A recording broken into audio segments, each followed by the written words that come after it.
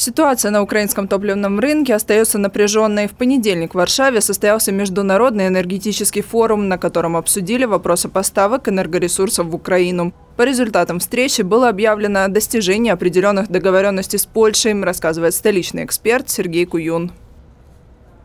Необходимо понимать, что сама Польша является импортозависимой страной, поэтому, конечно, любая страна она будет в приоритетном порядке решать вопросы внутренние.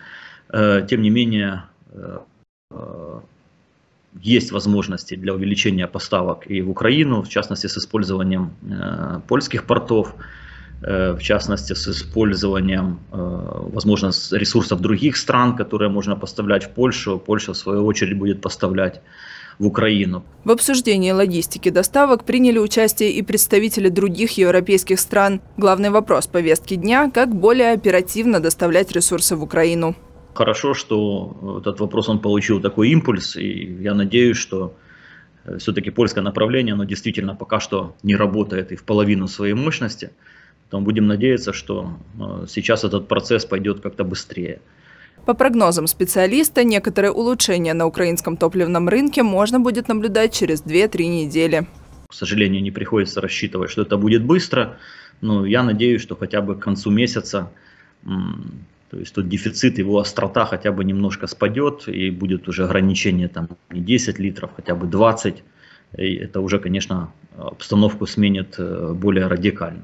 Что касается цен на топливо, их изменение полностью зависит от госаппарата, говорит Сергей Куюн. Надо понимать, что у нас все равно действует государственное регулирование.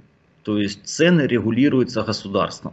Недавно Кабинет министров он формулу расчета этих цен усовершенствовал. Он внес туда дополнительные логистические затраты.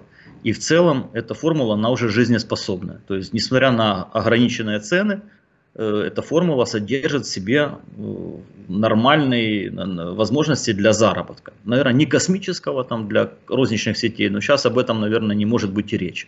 Однако в условиях дефицита на рынке участились случаи мошенничества. Для его пресечения необходимо предпринять жесткие меры, считает эксперт.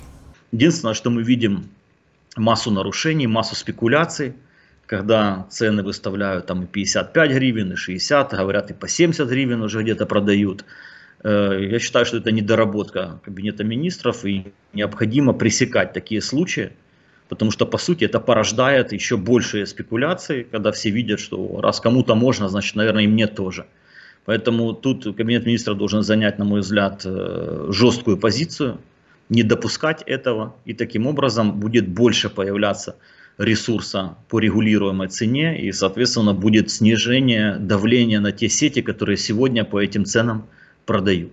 В условиях военного времени спекуляции на ценах на бензин наш собеседник приравнивает к мародерству, однако выражает надежду, что вскоре ситуация на топливном рынке выправится, а мошенники понесут заслуженное наказание.